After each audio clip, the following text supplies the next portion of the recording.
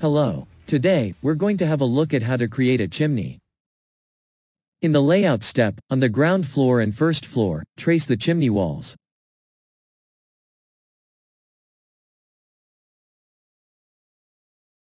On the first floor, in the roof step, draw the main roof, leaving the chimney walls free.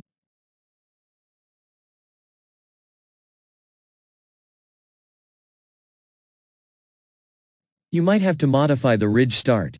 For that, click on the roof side opposite the chimney and check the ridge start option. Then, trace a new roof, for example a flat roof, on the chimney walls. Change the roof height to simulate the chimney flue you want. You can change the parapet parameters. Parapets can represent your chimney crown. Finally, to finish off your chimney, you can choose a product in the furnishing step, in the catalog building, roof, chimney. You can be more precise doing this in 2D.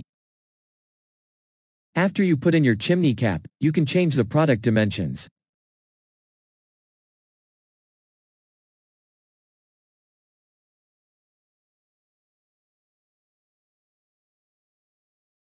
That's it.